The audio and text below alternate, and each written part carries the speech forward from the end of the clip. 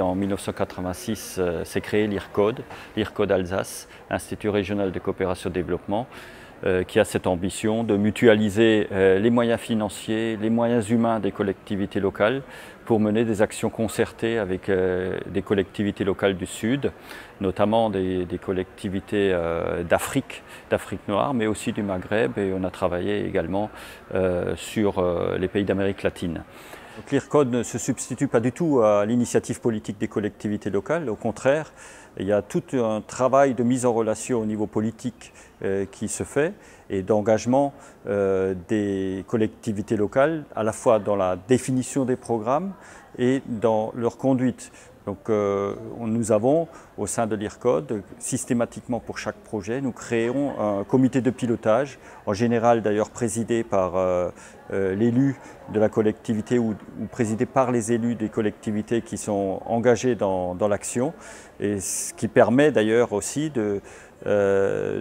de porter euh, ces projets-là au sein des collectivités locales et de les défendre dans les commissions thématiques euh, des collectivités locales pour qu'elles puissent euh, être suivies et, être validées politiquement. Dans le domaine de l'eau, tout particulièrement avec la loi Houdin, l'IRCOT a non seulement rassemblé des moyens des collectivités locales, mais systématiquement monte des dossiers pour euh, mobiliser des moyens supplémentaires auprès de, l'agence de l'eau rameuse, euh, ce qui nous permet de doubler en gros les, capacités de financement dans, euh, dans ce domaine-là. L'intérêt de l'IRCOD, il n'est pas seulement celui de rassembler des moyens, celui aussi de, mobiliser les compétences des, collectivités locales alsaciennes, hein, notamment dans ce domaine-là, mais il est aussi dans la capitalisation des expériences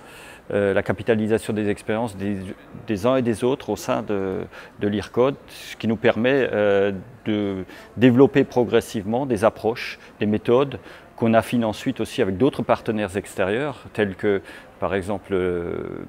le PSO, hein, PSO qui est un partenaire fondamental qui nous a aidé à réfléchir un certain nombre de projets. Et cette mutualisation permet justement d'apporter euh, disons, des, compétences que j'appellerais un peu transversales de coopération, qui sont celles de l'IRCOD, hein, des équipes de l'IRCOD qui, euh, ont réfléchi aux méthodes, aux, approches de coopération, et puis les, compétences, je dirais, euh, verticales, techniques, qui sont mobilisées dans les collectivités locales. Et c'est vrai que le mélange des deux, euh, permet de monter des dossiers qui sont à la fois du point de vue de la méthode, lorsque par exemple on, dépose un dossier au niveau de l'Union européenne, euh, qui permet de monter des dossiers euh, qui sont ensuite retenus par des bailleurs de fonds, où on a à la fois la méthode d'approche, de, montage de projet, et puis en même temps, je veux dire, les compétences techniques qui se raccrochent derrière et qui, je veux dire, donne une crédibilité à l'action et, euh, permettent d'avoir des approches de développement euh, nouvelles euh, avec nos partenaires du Sud. Un autre intérêt de, cette mutualisation, c'est que l'IRCOD peut raccrocher autour des collectivités locales d'autres acteurs. Par exemple, à Madagascar, où on travaille sur la filière assainissement, nous avons réussi à mobiliser l'Institut Pasteur de Madagascar sur le suivi des impacts en, matière de santé euh, de l'action qu'on va mener sur l'assainissement. Nous avons également réussi à mobiliser euh, l'IRD, euh, Institut de recherche pour le développement. Nous avons mobilisé également ENDA Tiers-Monde, Océan Indien, hein, qui, s'est impliqué dans, ce programme. Donc on a tout un panel d'acteurs locaux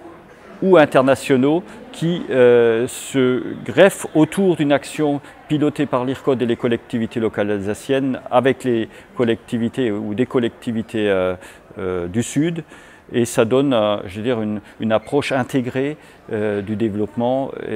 en prenant en compte tous les aspects que recouvre ce type de projet. Nous avons, euh, grâce à l'IRCOD, aussi la possibilité de mettre en place euh, sur le terrain, là où on a des actions significatives, des, équipes, euh, des antennes